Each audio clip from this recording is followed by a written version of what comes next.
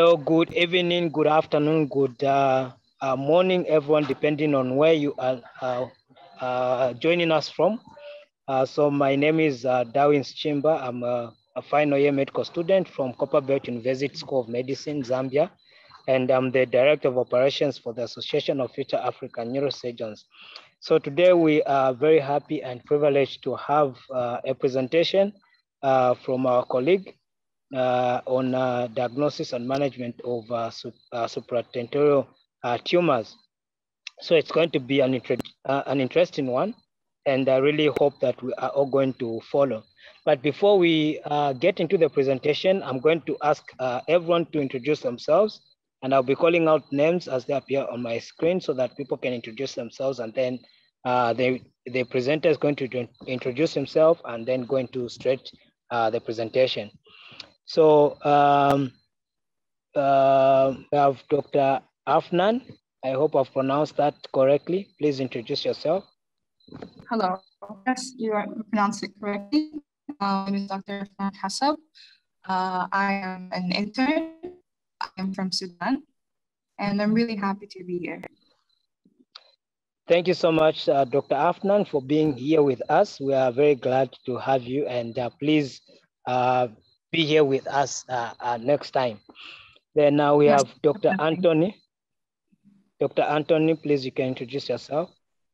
Um, hello, um, Darwin. Hello, everyone.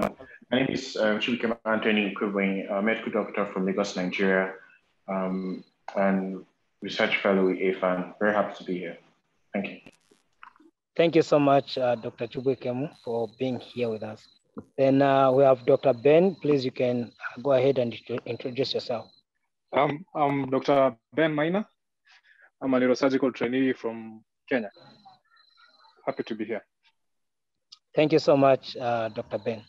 Uh, then we have um, uh, Chijebe. Uh, please, you can introduce yourself.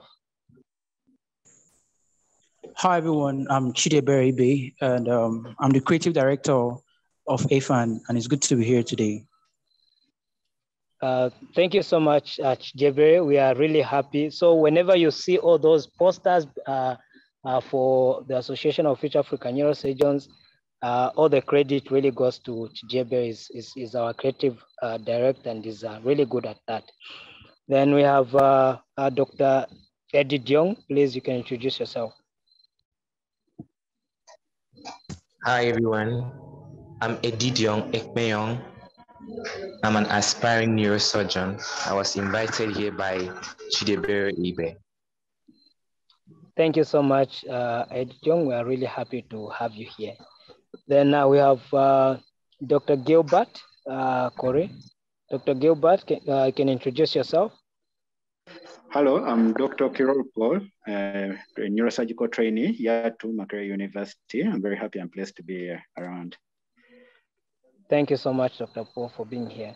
Then now we have uh, uh, Olalua Ezekiel. Greetings, everyone. Um, I'm Olalua Ezekiel. I'm a second year medical student from the University of Ibadan and a research fellow at the Association of Future African Neurosurgeons. Glad to be here. Thank you. Thank you so much, uh, Ezekiel. Always happy to have you. Then we have um, Alice. Hello, everyone. Uh, my name is Mutoni Alice uh, from Rwanda, from University of Rwanda, uh, fourth year medical student at the research fellow in AFAN. Thank you. Thank you so much, Alice, for being here. All right, so I'm going to ask the presenter to introduce himself and go straight into the presentation. But before that, um, as we uh, announced earlier, we're supposed to have two presentations but uh, due to circumstances beyond control by the first, the one who was supposed to be the first presenter, uh, we don't have her here with us. So we're just going to have one presentation uh, for this evening. So I'm going to call on the presenter to please go ahead and uh, introduce yourself and begin the presentation. Thank you. Thank you so much, Darwin. Um, good evening, everybody. I am Toba Ogunfolaji.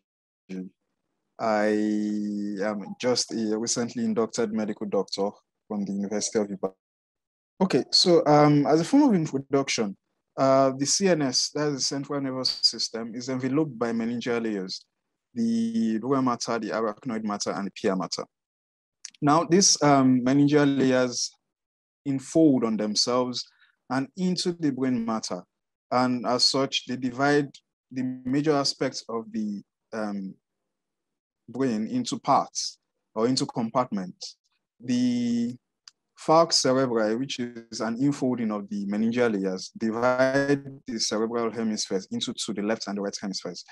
While um, the tentorium or the falx cerebri divide the cerebral hemispheres into, or the uh, brain matter into two compartments. The first compartment is the compartment above the tentorium, and that compartment is known as the supratentorial compartment, while the other compartment is the one below the tentorium, which is um, known as the infratentorial compartment.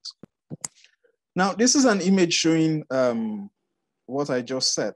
So um, although it's not, it's a 2D image, it's not showing all the, the meningeal layers. However, um, if you can just follow my cursor, the, the um, meninges usually enfold into this uh, here, if I can use that word here, and divide this upper part into the supratentorial compartment and the lower part into the infratentorial compartment. Now, um, in the in this compartment, we have different organs, uh, different um, components. In the supratentorial compartment, there's there are the hemispheres. Then you have the basal ganglia, the thalamic nuclei, the lateral ventricles, the hypothalamus, and the corpus callosum. In the infratentorial compartment, the cerebellum, the brainstem, and the fourth ventricles are the major components of this compartment. Now, going um, into the incidence of supratentorial tumors, it's the second most common form of cancers in children, that's after the blood cancers, and it contributes about 5% of deaths in the pediatric population. However, when you're now looking at the division of tumors, CNS tumors in this population, um, different studies have shown that there's about a 40% supratentorial distribution of tumors and a 60% distribution of infratentorial tumors in, um, in this um, population. In the adult population, it's the sixth commonest cause of cancers, of cancer deaths in them. And about 25% of tumors in adults are in the CNS. But when now look at the division, the distribution of these tumors, about 85% are in the supratentorial compartment, while 15 to 20% are in the infratentorial compartment. Uh, factors leading to most CNS tumors are quite uh, unknown. Uh, most of the factors known are just sometimes um, um, speculations. For most primary tumors of the CNS, it's sporadic and have unknown etiologies. While for secondary tumors, those are metastases, uh, they contribute about 40%, 14 to 40% of um, tumor burden. Less than 5% are due to some syndromes, genetic and hereditary syndromes. While ionizing radiation have been the, um, has been the um, major factor that has been implicated in most of these tumors. In children, there's a 2.3% incidence of brain tumors, especially in those who were um, irradiated, who were exposed to renal irradiation for acute leukemia. So in most of these people, you would always find that they have a higher chance of primary brain tumors in them. Also, the meningiomas and some lymphomas, CNS lymphomas, also um, are um, thought to be caused by being exposed to ionizing radiation. Some of the uh, hereditary syndromes that may cause or that may increase the, the risk of getting CNS tumors are shown in this table. So the neurofibromatosis syndromes, Tourette, von Hippel-Lindau, Leishman and Gorlin syndrome are syndromes that have been studied and that have been shown to have some um, impact or some import in CNS tumorigenesis. And some of the tumors shown are there with the affected genes. Now, going um, into the matter of discussion today, supratentorial tumors can be divided into intraparenchymal or extraaxial. And in intraparenchymal tumors, the major um, feature of these tumors is that they are within the brain matter or the brain tissue, while the extraaxial tumors are outside brain matter, but you may find them in the um, arising from the skull or the meninges, or sometimes the overlying um, tissue of the skull. So uh, commonly in the intraparenchymal tumors, the more commonly um, seen ones are the astrocytomas, the ependymomas, the desmoplastic neuroepithelial tumor, the des dysembryoplastic neuroepithelial tumors, gangliomas, teratomas, primitive neuroectodermal tumors, and rhabdoid tumors. Extraaxial tumors are the choroid plexus papillomas or carcinoma, the Langerhans cell histiocytosis, epidermoid or dermoid cyst, and the arachnoid cyst. As mentioned earlier, metastasis to form about 14 to 40% of some of these tumors. And, and um, half of those tumors, half of those metastases are usually lung, from the lung um, tissue, lung carcinoma. However, uh, melanomas, breast cancer, uh, renal cell carcinoma, colorectal cancer, and nasopharyngeal carcinoma also have some contribution to metastasis to the brain. Now, in um, understanding the signs and symptoms of these tumors, we need to understand uh, the concept of the um, um, hypothesis. Now, the skull as it is, is a closed compartment. So being closed, it means that the components or the, uh, the components inside the skull are also within a closed or a fixed volume or pressure. So once there is one, once any of those compartments become larger or more than the other, then you'd start having symptoms of what we call increased intracranial pressures, which is which are the core, which is the underlying um, um, pathology, more or less, the underlying pathology in the in the symptomatology of these tumors. Now, um, these components are usually the brain matter, the CSF, and blood. So once there's a tumor, and that tumor is not within the confines of its tissue, because you expect that with tumors, they have you would have masses and lesions, and these lesions will grow out of proportion. Then you start having symptoms of raised intracranial pressures. And some of these symptoms are here listed. Um, headaches, nausea and vomiting, double vision, head tilt, decreased alertness, lethargy or irritability, especially in the pediatric population, poor feeding, endocrine dysfunction, and unexplained behavioral changes. Again, some of these symptoms may also be explained by the location of the tumor, whichever tumor you are looking at at the time. The signs that are evident when there is uh, the ICP due to a tumor or due to any other thing majorly are papilledema, loss of vision, uh, bulging fontanelles, setting sun sign, um, increased blood pressure or low pulse, and herniation. Uh, well, if if the if the skull is a fixed compartment, then it just goes to show that once there's an increase in pressure within the skull, then it also means that the contents or components inside the skull would look for the nearest um, outlet. And most of these outlets are the foci in the base of the skull leading to herniation.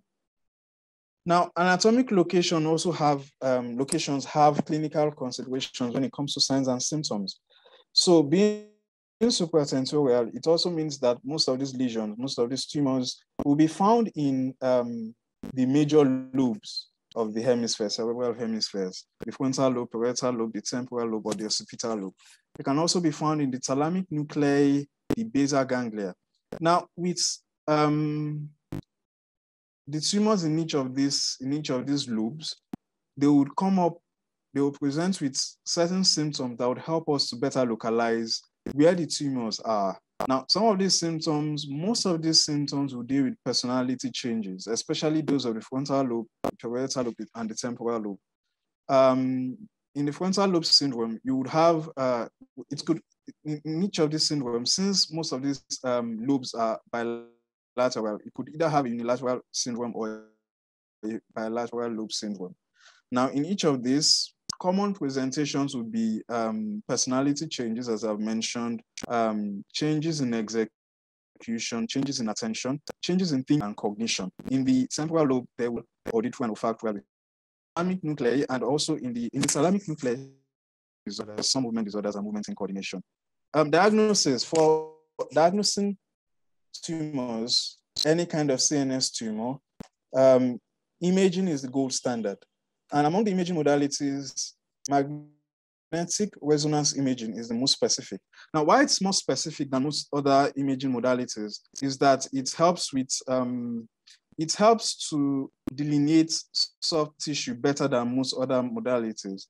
Then with the magnetic resonance imaging, you can easily find soft tissue changes over time. Again, you can also be able to pick out changes in the surrounding tissue and in the tumor at the time you're making the image or doing the imaging. So it's the most specific and most sought um, imaging modality for diagnosis of um, tumors. Um, the MRI images are, are often presented in pulse sequences, the more popular one being the T1 and T2 weighted images. But the others are the FLAIR, the STIR, the MRI, TOF images, and the diffusion weighted images. Um, yeah, other imaging modalities can also be used, especially in cases where there's limited access to magnetic resonance imaging um, facilities, or in patients that have metallic implants. Yes, in patients that have metallic implants, usually magnetic resonance imaging um, uh, yes, imaging is often not um, indicated in, in this patient. So you could do a computed tomography scan, a positron emission tomography scan, or a plain X-ray. Now, um, with the plain with the plain X-ray, it's a little bit archaic and out of date. And why it's so is because it's majorly indicated in cases of bone pathology. And um, the only times you may use this is if these other modalities are not available, as it occurs in some places within the continent, or if you suspect that some of these tumors are arising from the skull or impinging on the skull and causing some bony changes. Um, other diagnostic investigations would include a tissue biopsy with immunochemical staining and CSF analysis. With um, tissue biopsy, usually the tissue biopsy could be open biopsy or stereotactic biopsy. With the open biopsy, you do a craniotomy and you, especially when um, after doing imaging, you find out that the tumor is in, is in a position, a location that is easily accessible when you open up skull via craniotomy or craniectomy. So you can do an open biopsy. In the stereotactic biopsy, these are more indicated in um, cases where the tumor is in a location that may not be easily accessible when you do an open biopsy. Immunochemical stainings would allow you to know the kinds of tissues, the kind of cells that are available or that are present within the tumor, or to help you better typify the tumor and to class the tumor that it is. Then that would also help with the kinds of management you would institute for this for this patient, or in this cases. CSF analysis is um, best indicated in tumors that can easily spread by CSF, some gliomas, medulloblastomas. Other ancillary tests are often done for patients workup, especially before surgery, ECGs and chest x-rays for patients who are older. And some of these tests are also based on um, standard local operating protocols.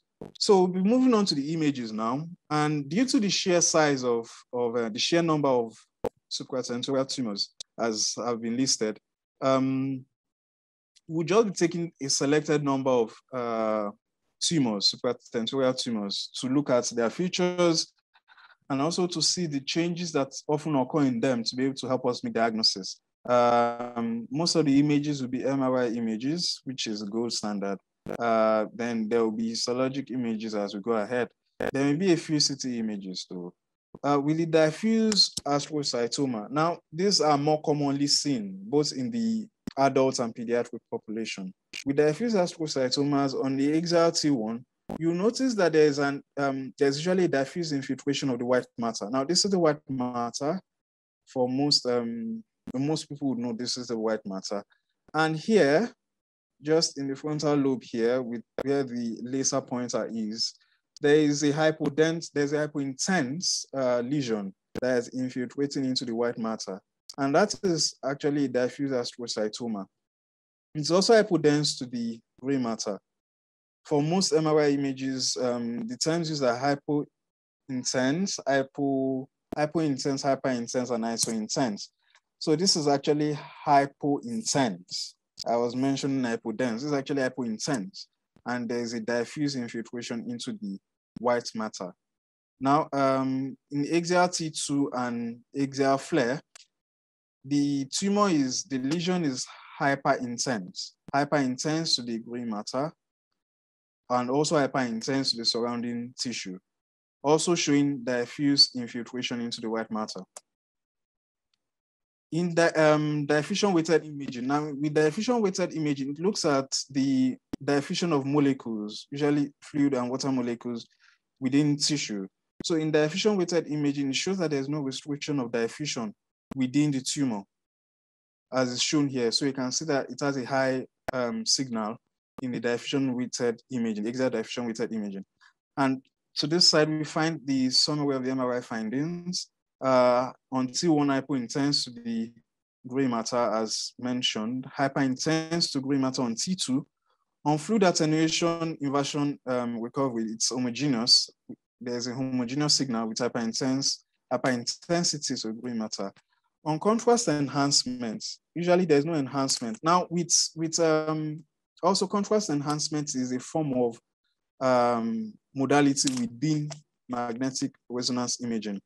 And in this case, gadolinium is usually injected into the vessels and to see if there is any uptake by the tumor of this contrast. If there's any uptake by the tumor, it shows as a hyper intense signal. But there's no, um, usually in diffuse astrocytomas, there's no uh, enhancement. And this may be explained by the fact that diffuse astrocytomas may often not show um, angiogenesis or vascular proliferation within the, within the tumor. Um, now, this is an histologic image of diffuse astrocytomas. Uh, this is medium power. Uh, summarily, it shows that there's infiltrative diffuse growth as shown here, and it's moderately cellular with irregular cell distribution and nuclear atypia. Um, nuclear atypia means that the nucleus of most cells, usually the nucleus of most cells have a, a um, nuclear to cytoplasmic ratio and there's a standard nuclear cytoplasmic ratio for most cells, where usually in most of the cells, the cytoplasm is larger and much more than the um, nuclear space. But in nuclear atypia, the nucleus becomes bigger than most um, than the cytoplasm, or giving or leaving just a little cytoplasmic space within the cell. There's there are no areas of necrosis or microvascular proliferation, which again will explain why there is no enhancement on MRI, and there's variable calcific changes or microcystic changes in diffuse astrocytomas. Glioblastomas are the more or less like the, the highest grade of, of astrocytomas. They are the most malignant um, tumors, astrocytomas, especially in adults, and can become quite big. They can grow to quite considerable size as shown here. In fact, this is almost taking up the whole parietal and temporal lobe if you, if you look at it. Now, because of their sheer size, it's um, on most of the um, weighted images under MRI that you would see, uh, they would have heterogeneous signaling. Heterogeneous signaling because they are, they, they are quite big and there are areas of necrosis or apoptosis going on within the tumor. So here is the axial T1. And in the axial T1, you can see that um, there is heterogeneous signal and it is hypo-intense to the gray matter. It's hypointense also to the surrounding tissue. So it's um, this is the, the core finding within axial T1 for glioblastoma. In the axial T2, it's heterogeneous signaling, but more hyperintense. Now, also there are areas of peritumoral edema, as may be shown here, areas of peritumoral edema too. Um, this is the axial FLAIR, also hyperintense to the green matter. And in the um, T1 contrast enhanced image, you can see that there is a heterogeneous signal, but again, this um, enhancement is just in the outer uh, border of the tumor. Now, this would be, ex the explanation for this is most likely that um, in the peripheral region of the tumor, there is vascular proliferation going on. But um, as the tumor gets bigger in size, the amount of blood vessels within the tumor um, there's almost always no blood vessel within the tumor, which may lead to the necrosis and apoptosis going on within the tumor because of its sheer size. So that is why there may be no enhancement within the tumor as shown here. Um, summarily, on T1, in fact, in all the in all the um, weighted images, there's heterogeneous signal. But on T1, as shown and as said, it's hypointense to to the wound tissue. On T2, it's hyperintense. On FLAIR, it's hyperintense with edema shown and seen. While on contrast enhanced imaging, there's heterogeneous enhancement. While on um, diffusion weighted imaging, there's typically no restriction. Histology of glioblastoma shows that they are highly anaplastic glial cells with nuclear atypia and pleomorphism. Um, pleomorphic cells are cells that have taken up a lot of different shapes, shapes that are not their primary shapes um, or orientation in the normal human tissue. There's microvascular proliferation, vascular thrombosis, necrosis and apoptosis also go on within the um, within the um, histologic sample as seen. And there's variable mitosis and inflammation. Uh, well, with, with necrosis going on, de definitely there will be some inflammation. And um, the tumor becoming bigger and bigger would explain the mitosis going on. Now, um, to the left, where the pointer is, is a CT image of a pleomorphic xanthoastrocytoma. This is another variant of an astrocytoma. And it has both a cystic and a um, solid component. In CT scans, you would have usually the terms used are the hypo, hyper, or isodense. Uh, and usually you use the bone, the bone as a, as a landmark. So the bone is hyperdense. So any tissue that has almost the same um, density as the bone is also said to be hyperdense. Now the solid tissue within this xanthoastrocytoma is hyperdense. And um, just by the side is a hypodense area with well circumscribed or well demarcated border. And that's the cystic component of a pleomorphic xanthoastrocytoma. Also here, um, also, um, I forgot to mention in the glioblastoma, but here you can also see that there is some form of midline shift. Now, midline shift occurs when tissue moves to the other, to the contralateral side of the other hemisphere.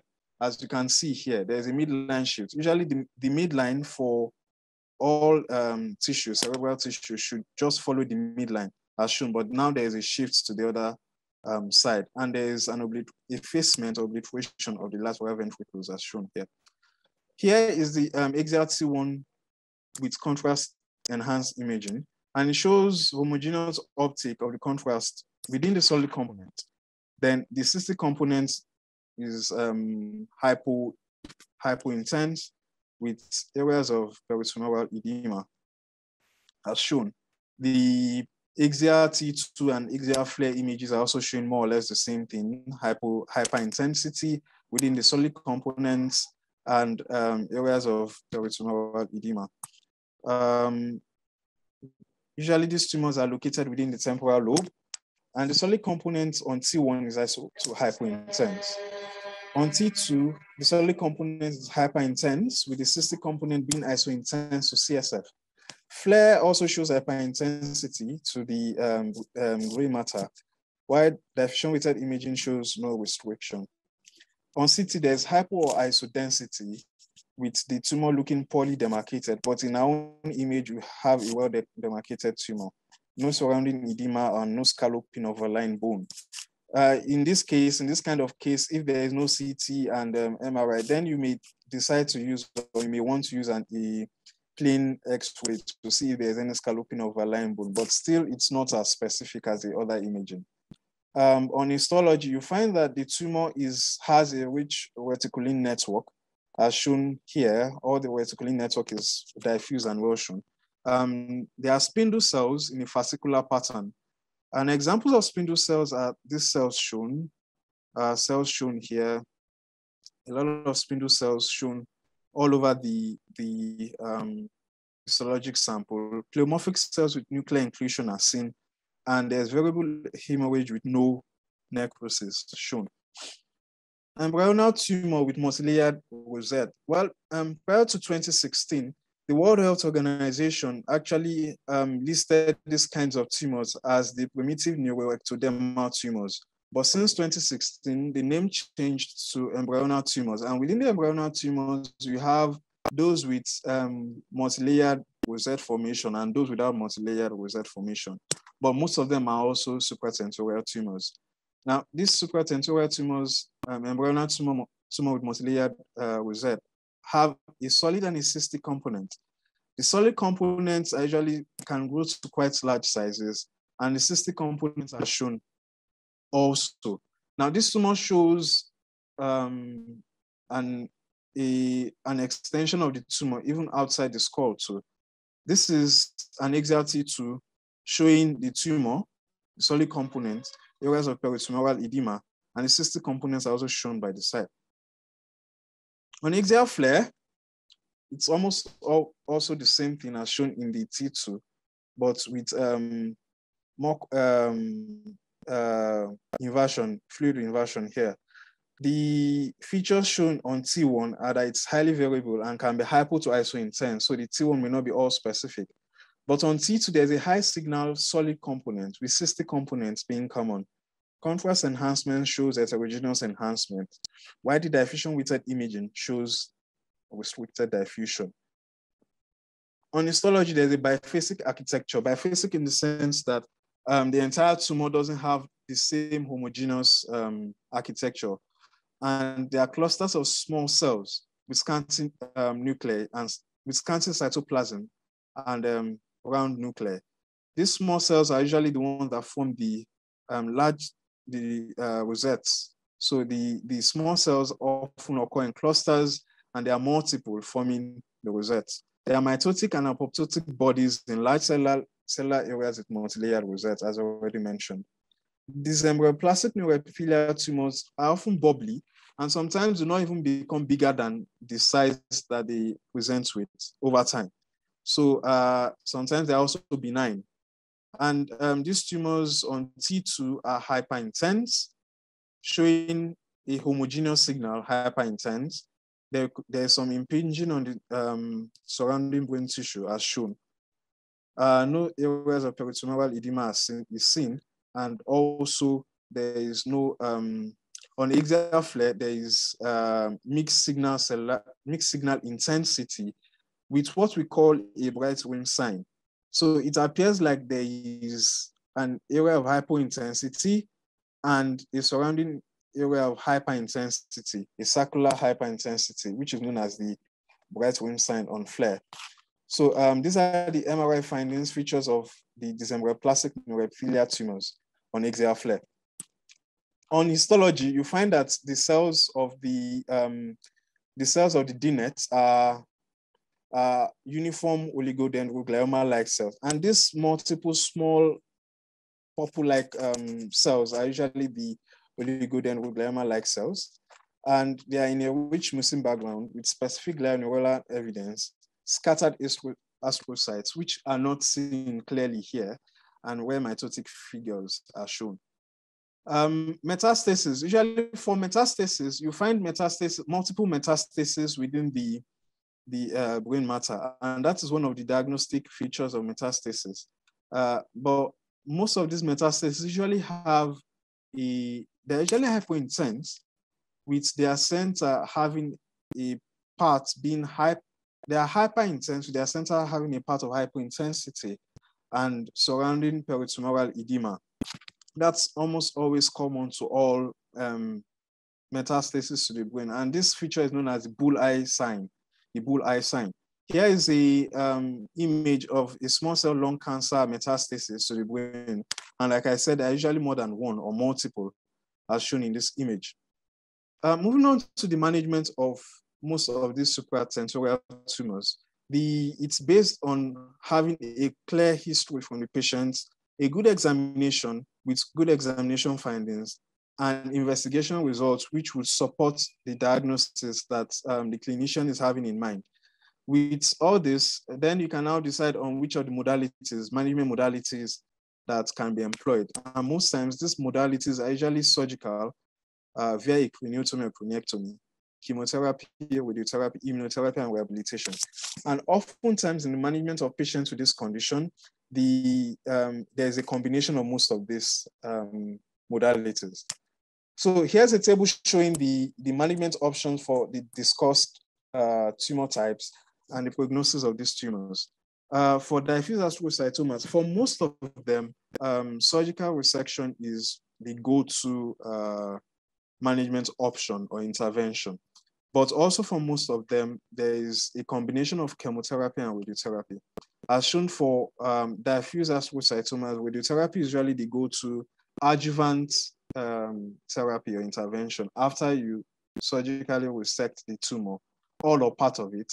And the prognosis and survival period for these tumors, patients with these tumors after intervention is about nine years, uh, which is quite fair. For the glioblastoma, the Stupp protocol is employed, and the Stupp protocol was discovered in 2006, and it has two components, chemotherapy and radiotherapy. With the radiotherapy going on for about six weeks, and, and a total of 60 gray is um, administered. It's two gray daily dose for most of the um, period of the six weeks. While for the chemotherapy, it's done with temozolomide, and the temozolomide is administered both during the radiotherapy and post-radiotherapy. With the temozolomide, uh, 75 milligrams is given per meter square of body surface area daily for the six weeks of radiotherapy. While post-radiotherapy, 150 to 200 milligrams of temozolomide is given for five days within a 28-day cycle. And the total period, total number of cycles for chemotherapy is six weeks, six cycles. Now, um, with the Stupp protocol, the two-year survival is shown to be about 26.5% in most of these patients, which is um, higher than in patients just managed with radiotherapy. For pleomorphic xanthoastrocytomas, the surgical resection modality is the most um, preferred management option chemotherapy and radiotherapy have not been shown to be um, to confer much therapeutic advantage. The five-year survival is about 90%, while the five-year disease-free period is 70%. However, there is a high chance of malignant uh, transformation and local recurrence. For the embryonic tumor with multilayered rosette, it has a very poor prognosis of about nine months, even with intervention. And the um, interventions employed are the surgical resection, systemic chemotherapy, or craniospinal radiation.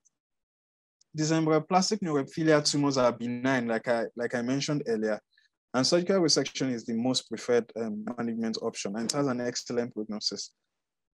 When metastases usually have a poor, very poor prognosis, and this may be explained by the fact that usually for there to be metastasis to the brain, the primary tumor is already at stage four. And stage four tumors usually have very poor prognosis, even with the best of management.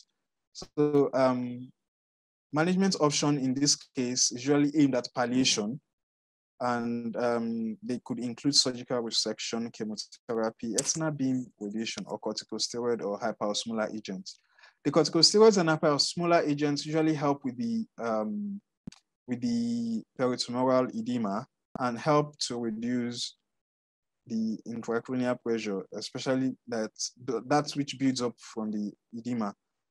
Again, with most of these tumors, some of these tumors predispose individuals to having seizures. So anti-seizure medications can also be administered in these cases. Then after the surgical resection and um, chemo or radiotherapy, then you could also look at physiotherapy because with the resection of parts of the tumor or a significant amount of normal brain tissue, there could be some neurological deficit, which is also a complication of this of these interventions for these patients. Um, other complications would include bleeding and infection. Bleeding because most of these tumors are highly angiogenic. They have a high vascular proliferation and resecting such tumors would lead to a considerable amount of bleeding. And um, measures must be taken to avoid such um, complications. Acute toxicity would uh, result from radiotherapy or chemotherapy, and some of these would include alopecia or dermatitis. There could also be diarrhea and some other skin changes as, as may occur. Radiation necrosis is another complication. While neurocognitive changes are also a form of um, complications, this complicate the neurocognitive changes may be as a result of the tumor, may also be as a result of the tumor excision or any um, intervention done, or due to the radiation and chemotherapy given. Uh, but with good surgical intervention and um, good clinical acumen, clinching the diagnosis is made easier, and also these complications are reduced to the BRS minimum. Um, these are the references I used for the presentation. Thank you so much. So we'll be looking at um, contributions and questions now. Wow, uh, thank you so much for the wonderful presentation. Uh, really grateful and it was uh, uh so detailed and on point. Uh, thanks again, thanks a lot. Uh, at this time, I think we're going to invite questions if there's anyone with a question or maybe any contribution, anything that you want to contribute or a question that you want to ask uh, please feel free. Uh, so there's a question in the chat box from uh, Dr. Gilbert. He says, would you recommend uh, keyhole uh, craniotomy in uh, supratentorial uh, tumor surgery or vertical incision during surgical resection? So um, while in my preparation for this discussion, uh, keyhole craniectomy was actually one of the modalities for some of the tumors um, especially the smaller and easily accessible tumors, supratentorial tumors, are presented in this in this discussion. However, again, I must I must say that um, uh, these are I have not seen a keyhole craniectomy done even in my exposure in UCH, uh, that is University College Hospital Ibadan. But uh, I think in more advanced climes, it's also it's a modality of management for some of these tumors. I am sure some of our colleagues, uh, senior colleagues who are in the in the field can help provide a better answer to that question. Um, but yes, I think keyhole craniectomy can also be used, as I have seen in my research for this for these tumors. Okay, uh, so Dr. Chibuikem says, uh, thank you for your presentation, quite amazing. In your second on your uh, in your second slide, you mentioned that uh, supratentorial tumors are the second commonest cause of uh, cancers in uh, children. Then, um, then went on to mention that 40% uh, are supratentorial. Um, are supratentorial. Uh, did you mean the, uh, that brain cancer is the second commonest? Then he says, um, yeah, maybe, maybe if you can first answer that question. Maybe Dr. Chibuikem, it's okay. You can you can probably uh, unmute yourself and ask the question. If at all you're in a position to do that. Oh, hi. Um, my network is not so good, so I'm not sure how much um, you would be able to hear me. But yeah, um, great presentation, um, Dr. Toba. Yeah, so um, what I was basically asking was in, in, your, in when we were talking about the incidents, you, you mentioned that, um, although in your slide, you just showed the second commonest um, cause of cancers in children. So, but you mentioned supratentorials are the second commonest cause of cancers in children. Um, I was asking if you're referring to supratentorials or brain tumor because, like, or brain cancers, because I know that infratentorial cancers, like you rightly put 60%, are more common than supratentorial. So did you mean brain cancer the second common in children?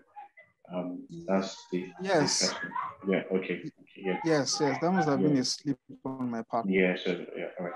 Um, and then the second one was uh, when we are given the different genes that cause cancer. If you could quickly go to that slide. Yeah, so for Tourette syndrome, you put TSC1 and TSC2. Um, what I know TSC to mean is the tuberous sclerosis gene, right, on chromosomes 9 and 16, and not with Tourette syndrome. Tourette syndrome is usually the 1SL ITRK1 gene. So maybe you can just clarify that or check on that. But yeah, that's okay. about a wonderful presentation once again. Thank you. Okay, thank you so much, um, Chief. I'll check. I'll check on the the clarifications.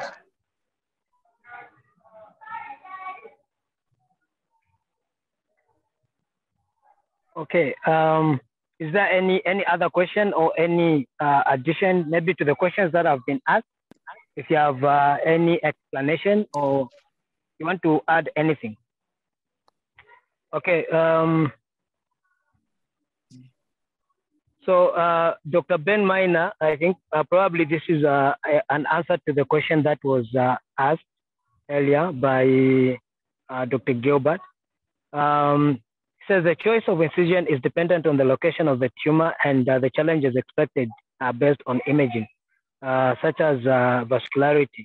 So keyhole uh, craniotomies can be done for tumors um, for tumors such as small olfactory groove meningiomas. you can also do a vertical incision such as mini pterional for medial sphenoid wing meningiomas. And then um, Alice also mentioned that uh, um, uh, you mentioned that in children uh, population, supratentorial tumors are second common. And uh, but recently the uh, the lecture said uh, that it is neuroblastoma. can you explain that in, in more details? So I think it's a comparison between the uh, supratentorial tumors and the neuroblastoma in terms of which one is uh, the second commonest? Um, well, from the um, little research I did while preparing for this for this uh, presentation, the well, as Dr. Um, Anthony had mentioned and has corrected, brain tumors are actually the second commonest form of cancers, but um, in the pediatric, population, infratentorial tumors are higher, that's about 60%, and supratentorial are about 40%. Some studies say 50-50 on both on both sides, but what I also know is that infratentorial tumors are higher on both sides. Now, neuroblastomas, I'm not specifically sure about neuroblastomas being the second commonest form of cancers. If you are talking about specifics of the tumor types, then you may be right that neuroblastomas are the second commonest, but still neuroblastomas are also a form of um, um, brain cancer. So it still fall as second commonest form of cancers in children. I don't know if that explains it. Okay, thank you so much, uh, uh, Dr. Uh, Toba, for the presentation. I uh, really guess there are no any other questions or any additions. So this was really a great presentation and we are so grateful and uh, uh, we really hope that you're going to be available again next time for another presentation. Uh, so I want to also uh, encourage everyone else uh, to always be available in case you would want to present. You can always uh, you can always uh, um, let me know or any of the leaders. but you can always let me know, and then we can always schedule for a presentation whenever there's there's free space. So thank you so much uh, Dr. Toba, and uh, everyone else that attended this presentation. Uh, we're so grateful. So I think we're going to end the presentation here. have a wonderful evening, everyone. Thank you.